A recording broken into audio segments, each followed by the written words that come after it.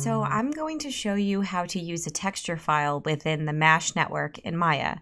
I made this little video as an example. And um, as you can see, there's a lot of little um, cubes that come together and they form a house shape. Uh, it's pretty simple and very fun to try, so I'll get going. Okay, so now that we have Maya open, we just create a little cube here and we're going to need to make a MASH network. So um, we go to um, animation and up top you should have MASH and if not, you may need to install it in the um, plugin manager, I think. But uh, I have it here, so I'm just gonna create MASH network with the cube selected and it uh, creates a MASH network and it's linear here. So we're going to change some of the settings right off the bat. Um, and if you click the attribute editor and go to MASH distribute, you will see um, the number of points and the distribution type. We're going to change that to grid for now. And I'm also going to increase the number of points to maybe like, let me see what it looks like. If I change to 10 and 10 along the X and Z, and maybe the distance to, it needs to be bigger, so 20 and 20. And then uh, there we go, we have a good distribution here. Um, for now. Okay, so we've got a, a MASH network or the beginning of one, and what we need is an image file um, for this specific uh, specific tutorial. So if I um, look at what I've already found here, I'm going to open up in my source images folder. I saved this. Um, this is a great image to use because it's very simple and it's black and white. And when you uh, use a texture file within the MASH network, you're going to want it to be black and white. And wherever there's white, that's where the um, the little objects will be drawn to. So that's the shape they're going to form.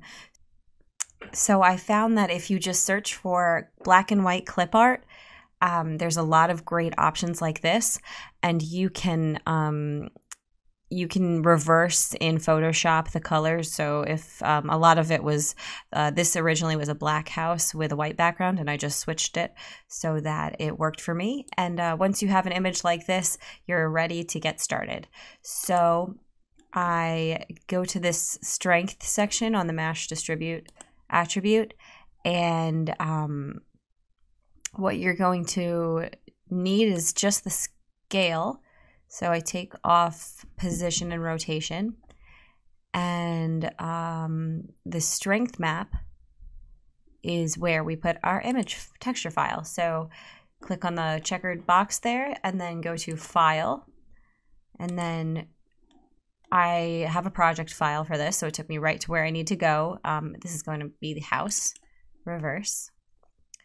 So um, as you can see, it doesn't look right just yet. So I'm just going to go back to the MASH network and I um, need to change the map projection axis. So I'll try. Ah, I think Y is the correct one, as you can see. Um, it's pretty good, but to help us out, we're going to need a few more uh, points. So I'm going to change this to one. Hmm, I was going to say 100. Let's try 50. Okay. Ooh, that's a ton. That's so many. And um, yeah, that filled it in a lot. Um, maybe we can play around with Y. If we put 10 there, it gives us some depth, which is cool. Um, and that's how I originally did it. So that looks okay. I'm to maybe go with 15. And um, the distance, change that to, let's see, oh, maybe a little too, too dense. I'm to change maybe to 30. This is where I just play around and figure out some numbers that look the best. And um, as you can see, there's some uh, like extra cubes up here that shouldn't be there. Uh, if I go to the strength and then the map helper, oops, if I just create, that creates like this little map um, mesh that helps it. I've I don't really know how it works, but it definitely helps organize the cubes better. And you can just hide that by Control H it in the um, outliner. So there you go. That is using the texture file, but we want to animate it. So yeah, we've got um, we've got them organized in the way we want, but what if we wanted it to uh, come together like in the animation? I'm gonna change my animation settings to 150, and um, I'm gonna since this is the final view of it of the um, animation, I'm gonna start here and start keyframing at 50. So uh, back to that mesh, back to the attribute editor, and we're going to keyframe the strength. And then let's go to one.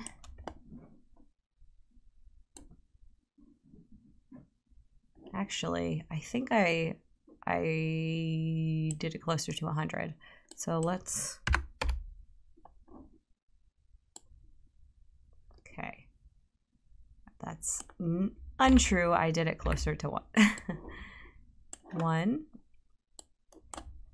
zero. I have auto key on just so you you know that whenever I make a change, it remembers it. So that automatically kind of creates the little squares and then fills out the image at the end um, by the time the strength hits one. So now to scatter them a bit, I add an, another node in MASH. Um, and I think this is where I started closer to 100. Let me see. Uh, to the MASH tab here, and then I added a random node. And that randomizes everything. So at 150 at the end, I want it to be completely organized and not random. So I'm moving everything to zero and keyframing everything because I'm not sure if it you'll you'll know it's keyframed if it becomes red. Um, after that, I'm gonna hmm, let's go to 120 actually, and we'll make the randomization. Let's just see what two looks like. Two, two okay, it's a randomized, but I wanted it to be more random than that. So five, five, five, more random even. Um, 10, 10, 10. Oh, that's, that's random. and then they all pop together. So they all are created and then move together. I actually want it to be even ran randomer. 20. Oh my goodness. There's so many. And they all come together to make the house. So that's pretty cool. I like it. I think maybe I may, might make it less dense if I go back to the distribute tab. Um, it's hard because it's all preference. So it's not going to look exactly like my last animation just because my numbers are slightly different. But overall, it's the same general idea. Um, it's cool. So that is is what that how that works. Um, but there's one last thing. I also added a color node to give it um, just some cool color effect. So I am just going to show you how this renders now uh, without color. So just create a light, sky dome, hide it because I don't like to see it. and then,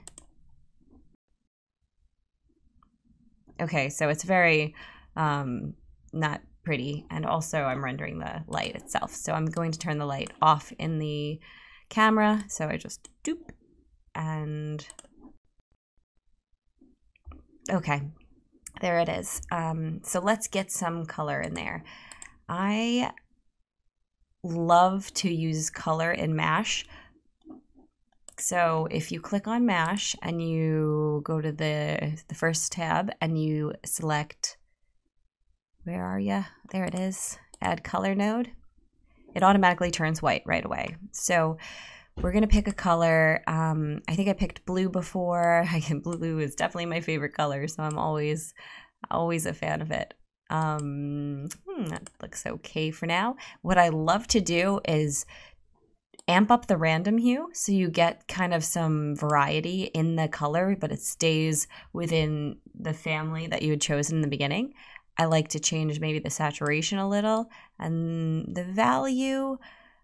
Um, I'm going to keep that lowish, but also change it. And the random hue is fun because if you pump that up, you get all sorts of colors. Um, and I can change the shade of blue, and you get. It's really just fun to play with. I I could play with it all day. But um, we're gonna stick with just that. I think is good.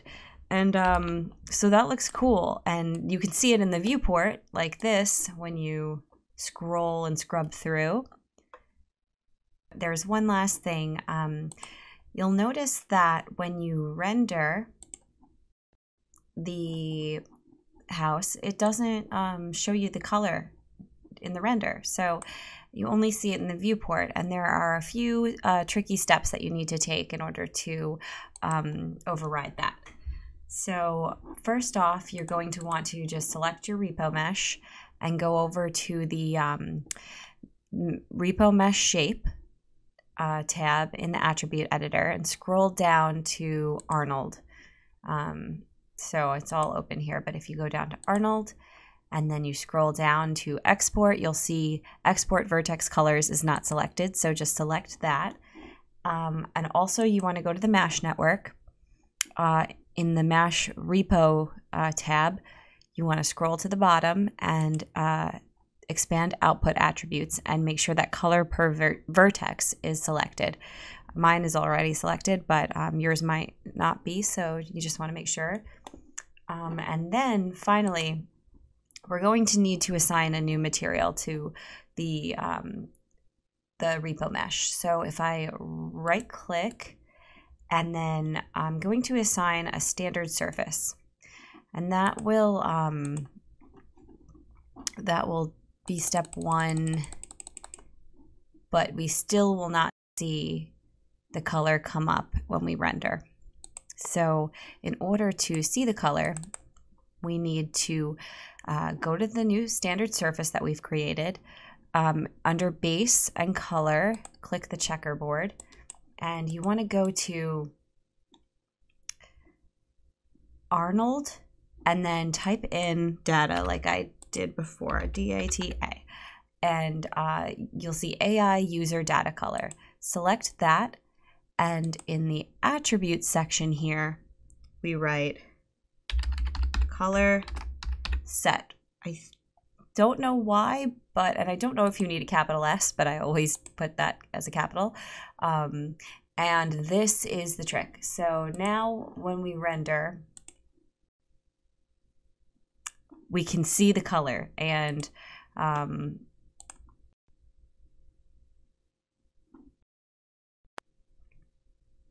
it shows in all of the renders at this point. So that is it. That's how we um, create a MASH network that uses a texture file to transform into whatever shape you like, and also how to um, assign a color node and render the uh, the color out. So I hope you guys uh, learned something, and um, I hope you make some really cool stuff. Thanks for tuning in. Bye.